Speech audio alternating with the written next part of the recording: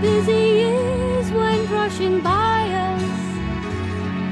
We lost our story.